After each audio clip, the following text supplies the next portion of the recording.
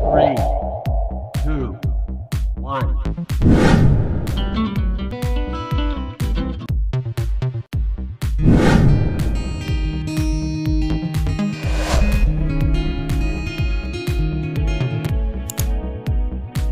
Ayan, so ito yung mga suka dito sa lugar namin. Ayun, oh, ang dami ng... Pwede, ano, kompleto na. May natutulog talaga dito, Rosa. Pag ganito. Na, oo, oo. Overnight? Oo, oh, oh, overnight. Dito talaga natutulog sila. Kasi nagkukumu... Uh, nagkukumu... Nagabasa sila ng Bible. Parang Bible marathon. Ginagawa nila. So, ito ay... Pwede bang i-video? Ayan. So, ito yung.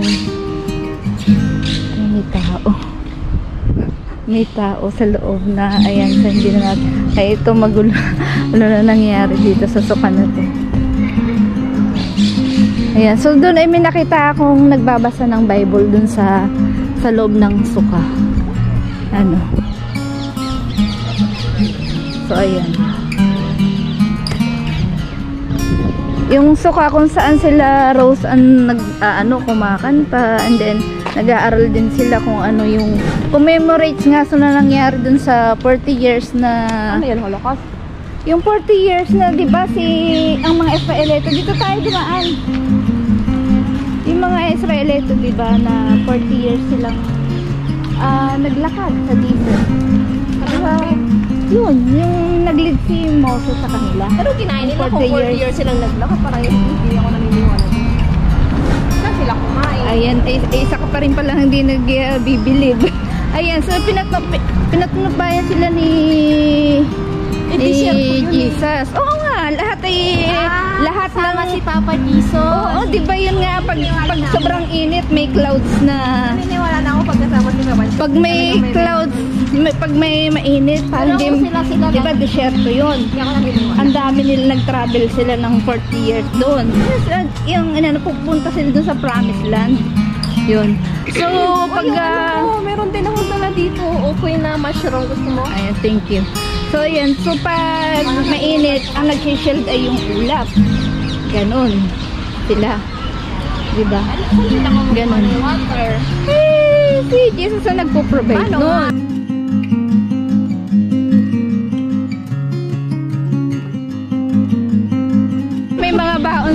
Tubig at may nakukuhaan. May nakukuhaan. Ayan. So, ito na yung ah, mga suka nila. Yun. May tao yata sa loob. Ayun, at meron pa yata dun sa kabila.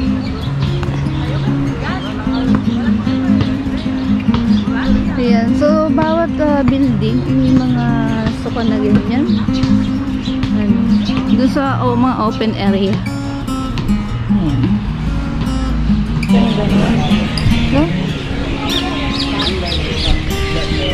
So, meron dito sa ay, ay doon tayo sa ang ganda ng sukot nila diba? so talagang may magpipray dito sa lugar na to prayer area pag gantong sukot so may iba-ibang klase ng sukot eh.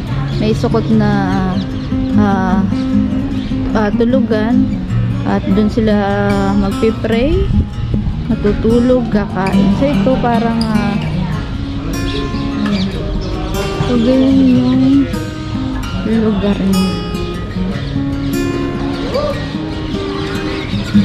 Yan, so, pag gantong sukot, makikita niyo na ganyan yung uh, paramihan inyo makikita na suka.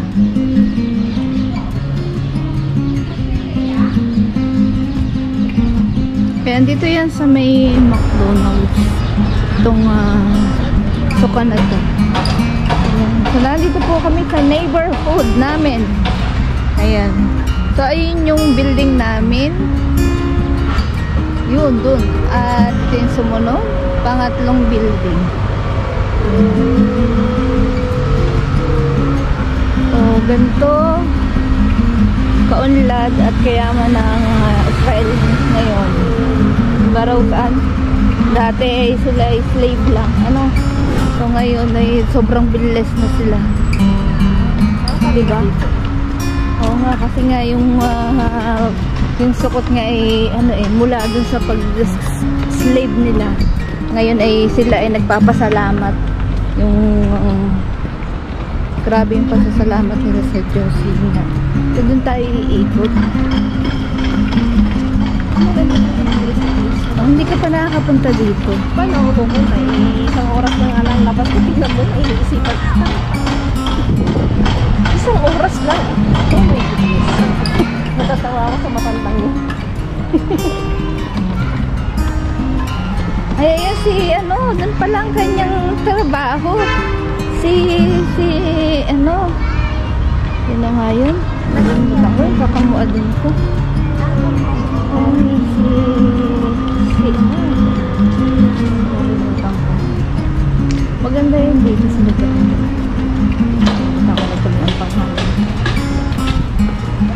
Para, para ditong nasa palasyo. Ano, Ayan na.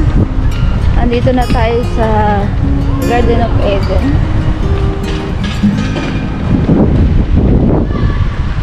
Tingnan mo naman yung- building nila. Oops, may bata. Ay, madali lang yan. Tingnan mo yung bahay nila dito. Parang palalingan. Dito tamo pagbungad ko. Akala ko ikot natin. Oo, ma, ed, ah, Garden of Eden itong lugar na to. Kasi ang ganda eh. Paglabas nila ng kanilang ah, building. Ayan. Wow. So, lola, nagagaya ako sa tawa mo. nakita mo kung gaano nakita mo kung gaano kaganda dito. Ayun ang ating ah, minamatahan. Ang suka. Ang pa na dito sa lugar. Ano? Oo, Ito yung mga building. Tagal, sa, tagal na kitang inaakit dito sa lugar na to. Ayan. So, ayan, ang suka nila dito. So, na kung saan ay dito sila ha, kumakain, ah, nagbabasa ng Bible, at nag yung communion na rin, yung pag-pray nila, o yung fasting of prayer pa din ang ginagawa nila. So, silipin natin, baka may tao. Ayan, so, ito yung, yan, mga typical na ah, uri ng suka meron dito sa Israel. Yan, so nakamata na kami at kami naglilibot ni Rose Ann. Ah, doon tayo Rose Ann sa ano dun sa lugar na yun. Di ba ang ganda? Tinitignan mo, nakakatakot yung building. Grabe no. Ang tataas ang building dito. Ito talaga yung mayayaman na tao na andito nakatira. Kaya nga ang Ramat Abibi, ano eh. Oo nga. Um, eh, miss na miss kaya ako nung una kong pasok dito. Sabi ko, grabe. Tamo, at saka yung mga ano, iba yung ambience na pag pumasok ka dito sa ano, grabe na yung pinagpapala ang talagang Israel, no? Temo yung kanilang lugar. Yan, kita sa, ako sa CCTV. So, dyan, bago ka pumasok, may security guard at may password. Ganda, no, Rosan? Napakalinis. Parang nang ano na, para ka nang parang naka ano ka na sa Garden of Eden. So ganito na yung ayun, may suka doon. Tayong nakita. Dito to sa kalimitan sa mga bakanting uh, lot din nilalagay. O kaya asa terrace nila. Pag malaki yung terrace nila, ayun din natin puntahan yung suka na yun. Punta tayo. Yan ang ating uh, main topic ngayon. So magagala kami at itutur ko kayo dito sa neighborhood, dito sa lugar namin, sa Ramat Abib, na kung saan ay titingnan natin yung iba-ibang klase ng suka. Dahil ah, sukot ngayon, o Pest of Boots ang ah, ngayon dito sa Israel. O Pest of Tabernacles. Yung tabernacles yan, yung kasi nga si Jesus noon nagutos kay Moses na yung unang harvest nila, di ba sila ay 40 years na Ano sa desierto? na sa disyerto. O ngayon, pagkatapos nun, Holy Land, di ba sa Holy Land, Yun ang talagang main ano, pupuntahan nila, Holy Land. Di ba ang Israel ay Holy Land? Ngayon, ayan na. Ah, may malaki yung suka nila. Ito yung, ayan. So dito, may nakalagay dito. Hindi natin alam kung ano ang ibig sabihin. Hindi natin, oo. Tapos ito yung, ah, yan. Parang dito naman, para siyang Christmas. Ayan, nakita nyo naman kung gaano iba-iba yung uri niya ng suka. Ayan, may ano na dyan, ah, maaano tayo, may tugtog yung bata. O, tara, Roseanne, dito tayo. Kasi nga ang suka, hindi mo maiiwasang may kantahan, pero parang ibang klaseng kantang narinig natin doon. Parang rap yun ah. Dito, yung ano kasi talaga sa suka, nagkakantahan sila. Ah, maraming kanta na rin. Nak- nakinig ako ng mga kanta ka- na ano, may pinasa si lolo ko. Nakinig ako ng ano, may mga kanta tungkol yung mga papuri sa Diyos, mga ganon na mga kanta. pero hybrid. Oo, kaya lang ay Hebrew. Yun, so sila ay nagkakantahan din dyan. At yung dahil ang celebration na ngayon ay iba na ang ating ano, tawag dito? Ayun, may suka pa sabi ko. Ayun, sa dulo. Yan, 'di ba? Mas maganda ditong ah, busog na mga mata natin sa magagandang paligid. Yan, nakapag ah, tour pa tayo dito sa lugar na to. Yan, iba-iba yung klase rose na dekorasyon na nakalagay. Ito. Ayan yung ano, ito ba yung ano nila Michelle? Ah, 'di ba ang ganda oh. Doon ako dun sa taas.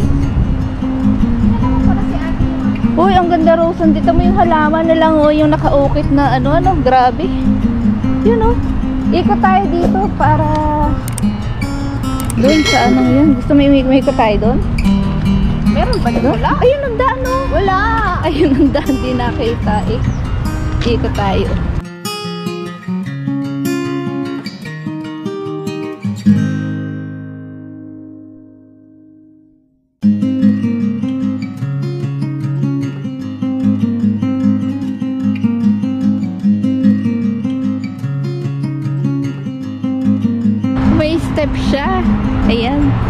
Ikot, ikot tayo.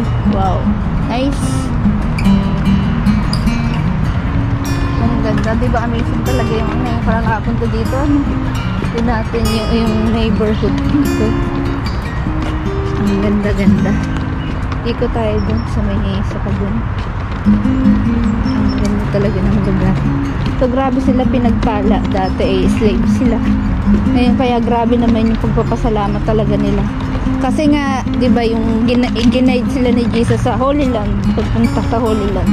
O ngayon, ang Israel eh kaya may Holy Land na ngayon.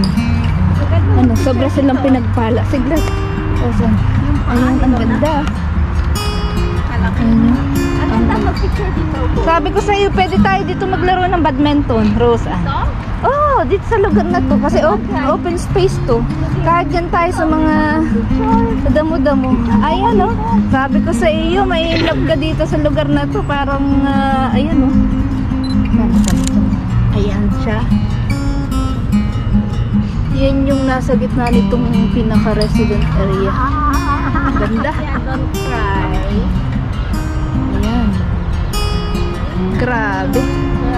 Nice one. Ang ganda-ganda talaga ng lugar na to. Silipin ko lang yung gusto niya sumama. Saan? Doon, sa suka doon. Eh, ikot tayo dito. Dili, tara. Di ba gusto mo maglakad-lakad? Tara, dito tayo. Dito tayo nadaan. Amazing tong ano. Nung una ko tong nakita, grabe. May laruan pa ng mga bata. Ang swerte ng mga bata dito, no? Mahal ang ano dito. Mahal ang mahal ang cost. Oo naman. Oh, siri. mas Kasi kasi yung iba nila eh, ang ganda, talaga baka maano si Lola sa sa video. Amazing na amazing talaga. Ha? Yung mga white rocks Eh sa sa beach pa. ano ba yan? Ang dami bagang puro ano yan sa disyerto. Yan ang ano dito. Dito ako dadaan sa May tao doon. may tao pala dun sa suka. Matanda pa naman yung tao mo. Nakita mo? Oo, tuma tumayo. Ayan, so may pumasok na kasi dyan sa suka, ah, habang ano, yung iba talaga, Rose, um, dyan na rin nag-stay. Ikot natin.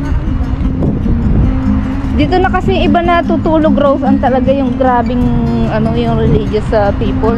Dito na talaga sila, di ba? Dito na sila kumakain. Yung iba hinahatda na lang ng pagkain. Dito nagpipray sila.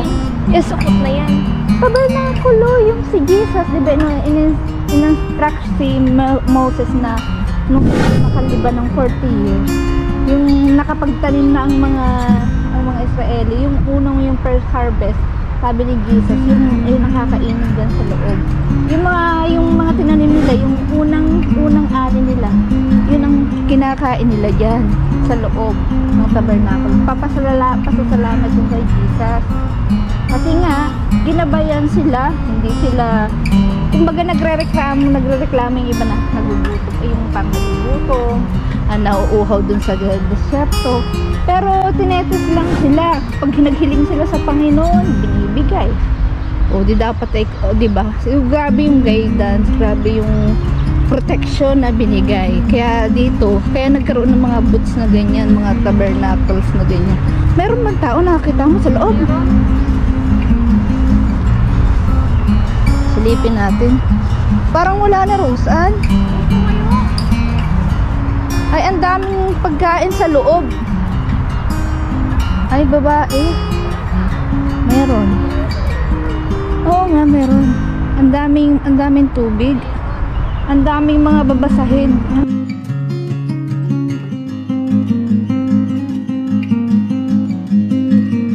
Ganda talaga ng lugar na Roseanne. Amazing. Ayan. Ang sorte-sorte nila. Ang sorte-sorte nila. Oh, ba hindi? Ito yung... Ah, si James pala yun. Yung aking kamuha doon. Oh. Tingnan mo, nasa kanila lahat. Nasa, nasa kanila na ang ganda, ang, ang ganda ng katawan, ang ganda ng height.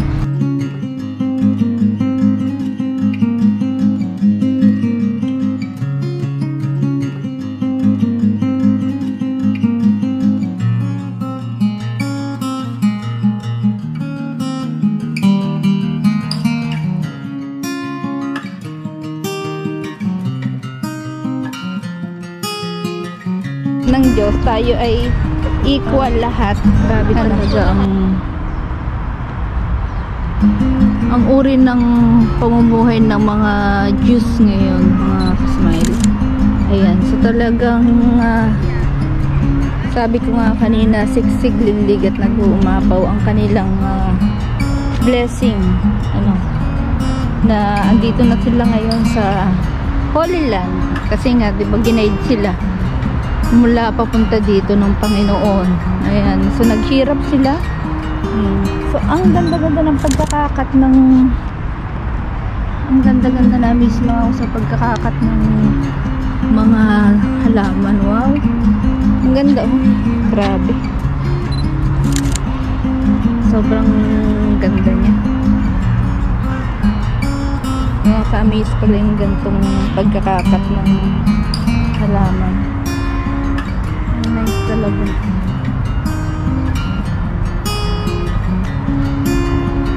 Yan, ang ganda ganyan. Neat and clean dito.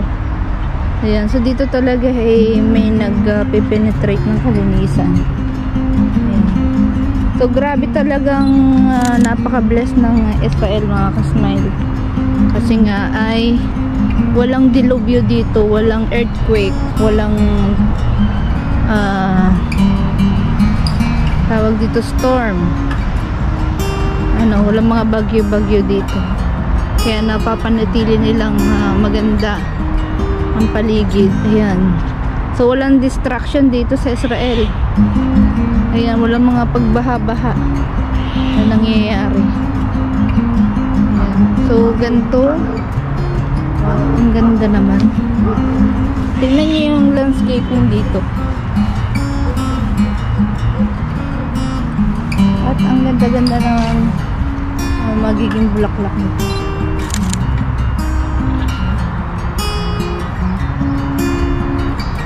Ayan. So amazing talaga ang mga ah, ginawa ng Diyos. Ano. Dito pa lang sa mga plants itong environment na ginawa niya ay sobrang amazing.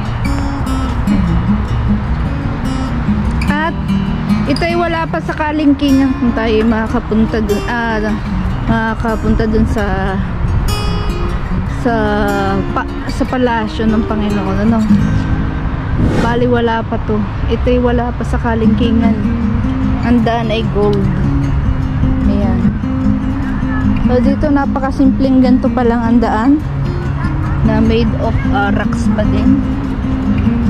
Ay am- amazing na. Lalo pa kaya yung inihahandang uh, Garden of Eden dun sa sa langit. Ayan yun yung new new world. Ano natitira ng mga tao. Ayan so napakabait ni Roseanne na nag, lagi nag-aalaga kay Lola. Yan so ganito kaganda paligid dito mga smile Ayan. So nakita naman yung natin yung mga ibang mga boots ano. Sabi nga dito ay Pest of Boots at Pest of Tabernacles. Hindi pa natin nauli yung ibang ah, resident area dun. Dito pa lang tayo sa lugar na to.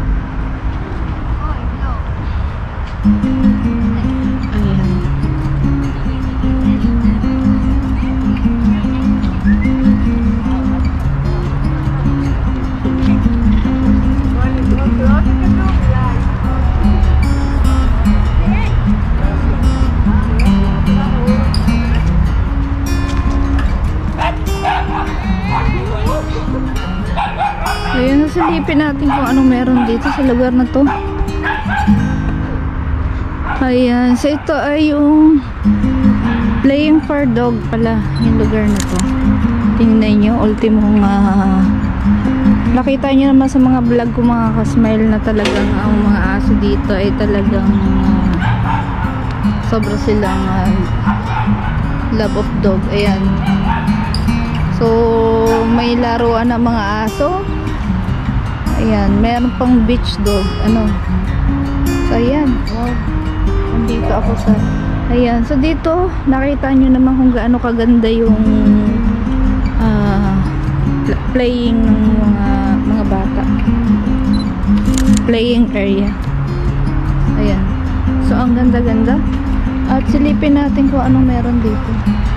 So, grabe yung buhay ng mga Jews ngayon. Na amazing. Ah, ito pala ay Rosan, ito pala ay ano na highway na oh, tingnan mo. Highway na. Ito yung highway. Ayun na oh, yung highway, yung number road. Ayan, so ang ganda nito. Anong klaseng ano kaya ito? Parang buli. Ano?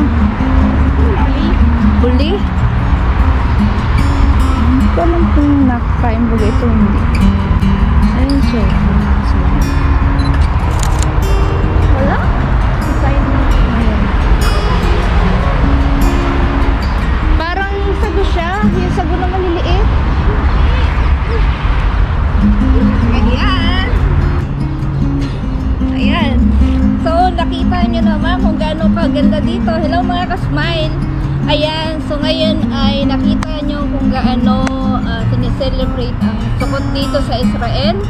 At ito ay napaka, isa rin sa holy, ano, ah, isa sa mga tawag dito sineselebrate dito sa Israel na talagang grabe yung ah, grabe yung kwentong ito ano about dito sa kung anong anong meron about sa Sukkot kasi nga from the beginning na dito yung nagpapaalala commemorate yung the years of the Jews in times of the desert. Ayan na kung saan sila ay pinatnubayan ng Panginoon. Ano sa sa dami ng kanilang mga dinaranas doon ay humiling lang sila sa Panginoon ay hindi sila pinabayaan. Ano so lahat ng kanilang mga nais ay ibinigay ng Panginoon sa lugar na yun protection kung ma inyo lang kung inyo lang ah, mababasa yung Bible sa kainitan ay ang clouds ng Panginoon na inaandyan. Ano? So, lahat ay pag nilalamig, ah, pag malalalamig sila, may apoy sa paligid. So, ganun yung grabe yung protection. Kaya naman ngayon, yung pinatnubayan sila na nasa deserto sila, desert, in 40 years na kanilang paghihirap doon, ay sila ay ah, hindi pinabayaan ng Panginoon. At nun nga, nung nagkaroon ng har- ah, pre-harvest, ay yun na nga ang ginawa nila. So, nag, nag, nag-utos ang Panginoon kay Moses na maglagay, magkumuha ng pagkain at kumuha ng tambahan ng goods o goods of tabernacle. So, yun yun.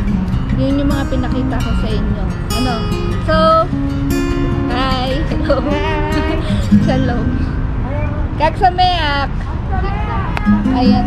So, nakita nyo naman kung gaano meron ng uh, effect ngayon, kung gaano maganda ang paligid dito. So, nakita, amazing na ngayon yung pamumuhay nila. At talagang uh, masasabi na natin na sobrang pinagpala ang Israel. Ano, so yung kanilang uh, cost of living ngayon ay hindi na basta-basta. Ano, na hindi na kung i-compare natin sa sa ating yung katulad ng tao, ito ay amazing at napakaganda na para na ako nakatira sa ah, Garden of Eden sa lugar na to, kaganda. Ayan, so napakarami pong mga ganda mga lugar dito mga kasmel at mga iba-ibang booths na makikita kayo. At talagang ang mga tao ay sobra kaya sobrang nagpapasalamat sila sa Panginoon. Tayo din, ng mga tao, ay sa ating ah, everyday life na ginagawa, ay nandiyan ang Panginoon kung anumang problema dumating sa ating buhay, lalo na sa Pilipinas, mga bagyo, o mga kalamidad na ating nararanasan, ay andyan ang Panginoon, ano, na tayo ay tinutulungan. Ayan. So, humiling lang tayo at magka, ayan, humiling tayo sa Panginoon at lagi tayong uh, papatnubayan, gagabayan at magiging tag- matagumpay tayo sa ating buhay, sa lahat nating mga limiti. Ayan, so maraming maraming salamat. Uh, keep on watching mga kasmal. Don't forget to like, subscribe to my channel. Ayan, thank you sa aking uh, be- be- best friend na si Rose Ann na palaging uh, sinusuportahan ng aking pagbablog. Ayan, kaya nagagawa ko mga bagay na ito ay nandiyan ang aking uh, friend si Rose Ann. Siya nag-aalaga kay Lola. Ayan, kaya nakakapagpatikot ako sa pagbablog. Ayan, so maraming maraming salamat. At sana nag-enjoy kayo sa ganda ng paligid na ito. Mga kasmile. Ayan, so bye-bye. Kag sa ah. At pag uh, babatiin nyo sila ng ah, dito ay happy uh, Sukkot o happy holiday sa Ibrit ay kagsame.